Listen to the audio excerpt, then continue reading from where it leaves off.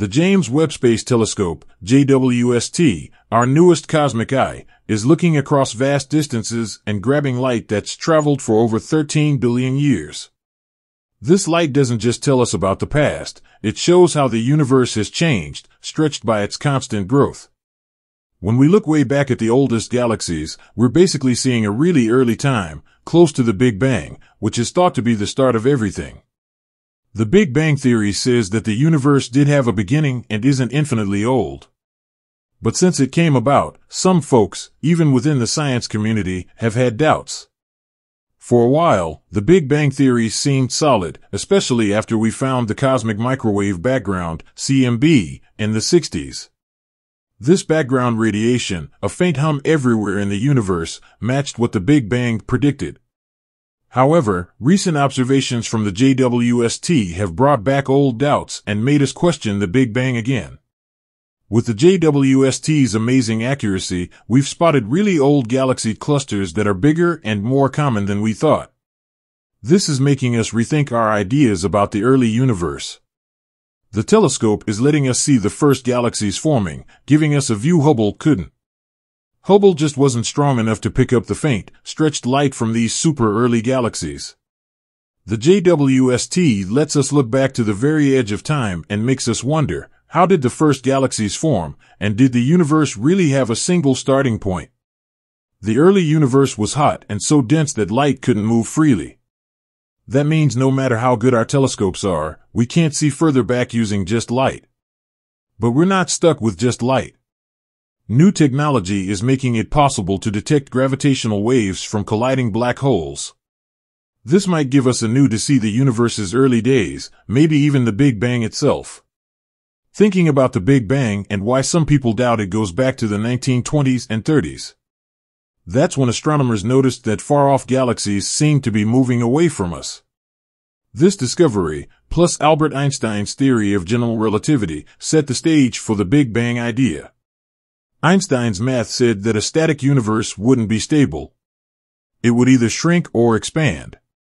The fact that we see expansion meant the galaxies were once much closer, hinting at a violent start for the universe. The universe's expansion has big results. Not only are things moving further apart, but the light they give off stretches out, shifting to longer wavelengths. Wavelength relates to energy, shorter wavelengths mean more energy. This red shift tells us that the universe has cooled the older it gets. If we go back in time, everything would have been so hot and dense that neutral atoms couldn't exist, resulting in a uniform, hot glow. This glow was spotted in 1964 when Arno Penzias and Robert Wilson found the cosmic microwave background, a radiation field echoing that fiery start. As the JWST pushes our view of the cosmos, scientists are finding things in the early universe that don't quite fit with the usual Big Bang story. We're seeing huge, bright galaxies where they shouldn't be, clustering in ways that are unexpected. So, if the Big Bang can't explain everything, what else could? The Big Bang Theory has a singularity at its core, a point of infinite density and temperature where the rules of physics break down. That's believed to be where space and time began. But this idea, while strong, has limits. Try to imagine all of existence squeezed into a point with infinite density. That's where we get stuck. Even though observations and experiments support parts of the Big Bang, the initial singularity is still a mystery. Did the universe have a different kind of beginning? In the search to understand the cosmos, science has found ways to make similar conditions. For example, quark gluon plasma has been made in labs, and matter-antimatter pairs have been created to match early universe predictions. By doing these experiments and looking at changes in the cosmic microwave background, we have a pretty good picture of how the universe changed. But big questions remain. If all of space was once squeezed into a single point, why is the universe's temperature so even? In the usual models, different areas of space should have different temperatures since they wouldn't have had time to exchange energy. We also might expect leftovers from the hottest times, like magnetic monopoles or spatial weirdness but we don't see them. These issues open up new ideas. Either the universe had these balanced properties from the start, or something made them happen. One idea is cosmic inflation, a super fast expansion thought to have happened before the Big Bang. On December 7, 1979, physicist Alan Guth suggested that before the hot Big Bang, the universe grew exponentially. This inflation could explain why the universe seems flat, even, and the same in all directions. After inflation, the universe would have shifted to the hot, dense state we associate with the Big Bang, setting the stage for galaxies, stars, and planets. But scientists now realize that cosmic inflation doesn't fix everything either.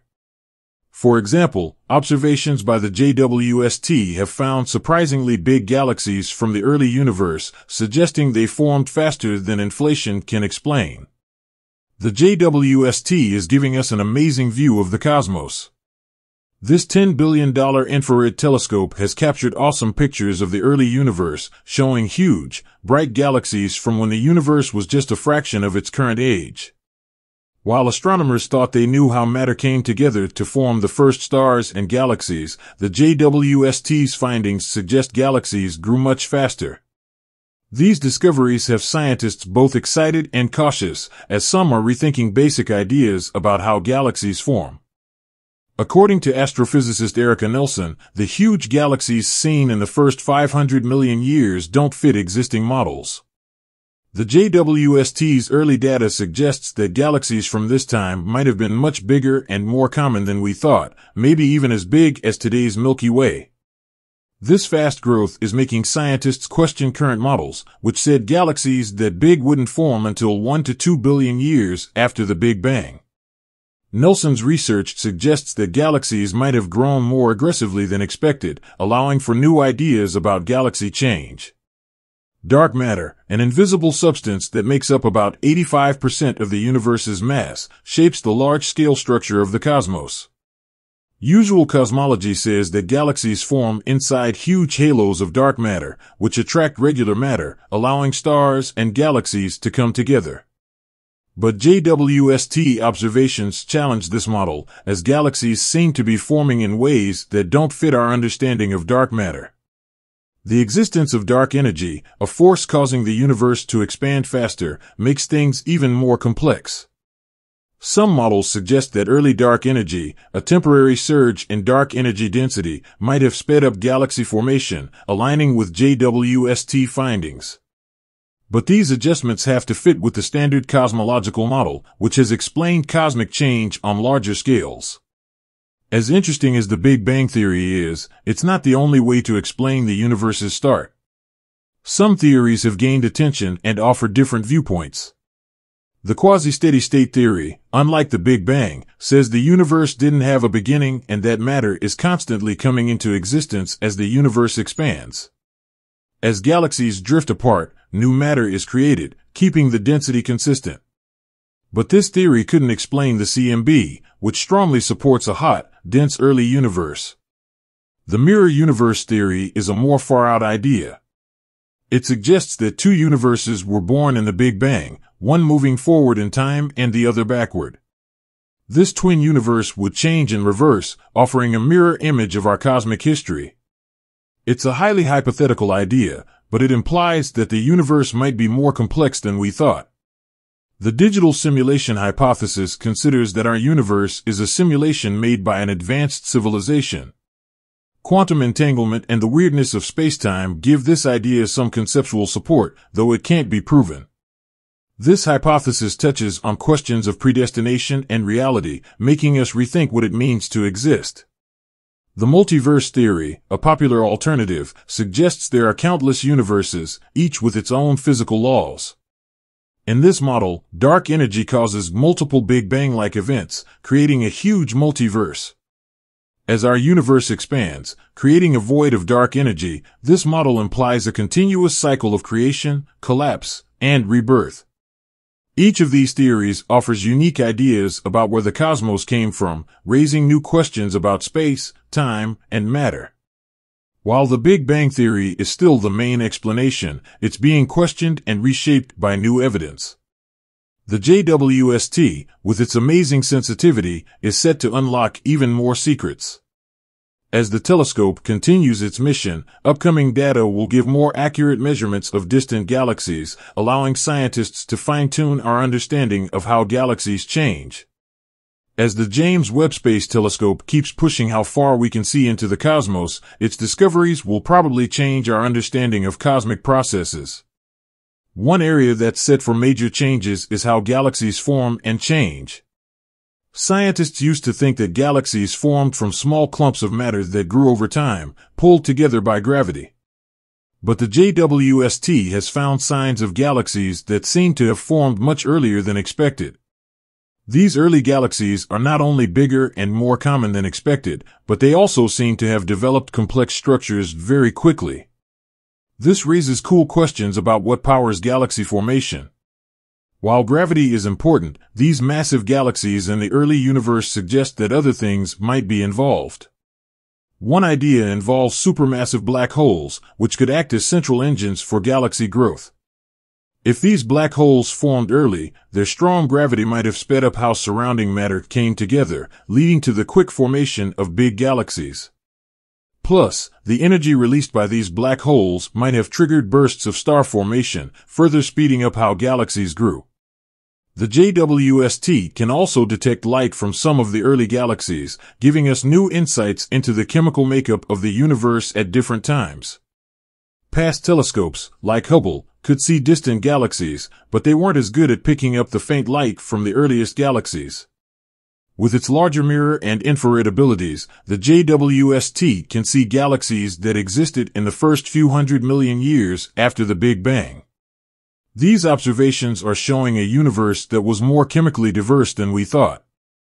For example, the JWST has found galaxies that seem to have metals, elements heavier than hydrogen and helium, much earlier than scientists expected.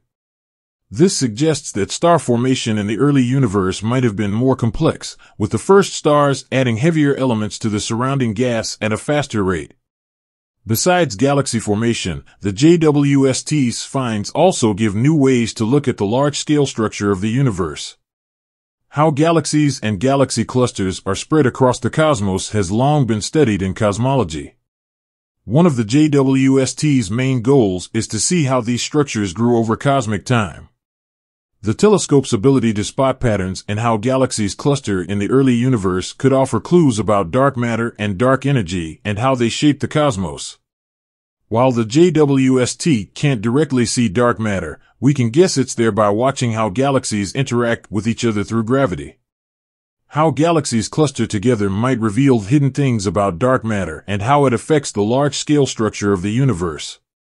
The study of dark energy, the force making the universe expand faster, will also get a boost from the JWST.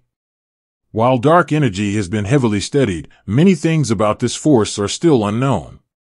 The JWST's ability to measure distant galaxies and their redshift, how light stretches as it travels through an expanding universe, could help scientists better understand how dark energy has changed over time. By comparing the universe's expansion rate at different times, astronomers might learn more about how dark energy works and whether it's been constant or changed over time.